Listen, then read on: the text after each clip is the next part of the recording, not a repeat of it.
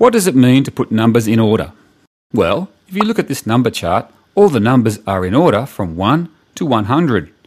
If we count to 10, 1, 2, 3, 4, 5, 6, 7, 8, 9, 10, we are counting in order. We are counting in order from the smallest number to the highest number. What if I had these three numbers? Can I put them in order? 3, 13, 8. Yes, it doesn't matter if they are not consecutive or following numbers, you can still order them. All you have to do is find the smallest number, then the number that would come next if you were counting, then the largest number. Here we have 3, 8, 13. They are now in order. Sometimes you might be asked to order the numbers starting from the largest number. That means you have to put the biggest number first and the smallest number last. It's easiest if I just show you. Here are three numbers 6, 2, 15.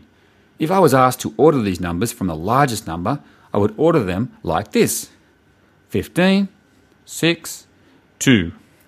The largest number is first, then the next largest number, followed by the smallest number. Make sense? That's how you order numbers.